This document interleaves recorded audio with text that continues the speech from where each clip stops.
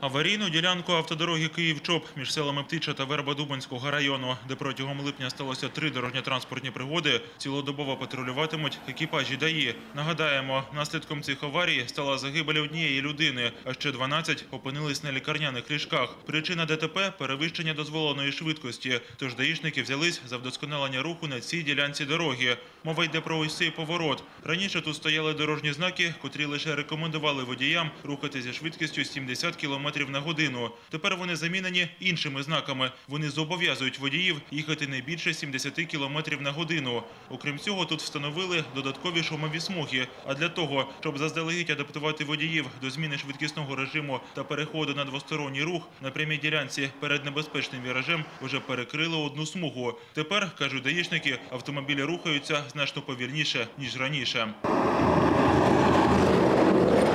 А це наслідки порушень правил дорожнього руху. Такими світлинами та відео з місць аварій працівники ДАІ лякають водіїв, котрі полюбляють перевищувати швидкість. Байдужими ці кадри зазвичай нікого не лишають.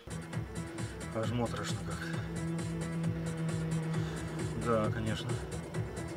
Да, я скажу, что, конечно, впечатление не из приятных. Мне надолго хватит, чтобы не ездить быстро. Працівники ДАІ вірять, така агітація вплине на свідомість водіїв, і вони задумаються, чи варто тиснути на педаль газу там, де цього ліпше не робити. Адже саме перевищення швидкості причина більшості трагедій на дорозі, які щодня забирають десятки життів. Хочу сказати, я подивився ці кадри всі і вже так не буду робити, бо ну я в баню.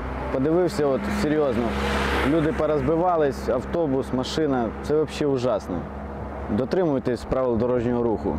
В принципі, вже людина вже, от, типу, як шофер, я вже теж 20 років за рулем. То корисно. Десь когось подивитися корисно. Хлопці, не літайте.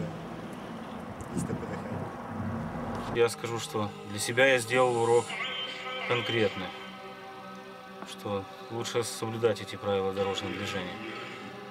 Если стоят знаки, то нужно все-таки ездить по этим знакам, потому что такое насмотришься.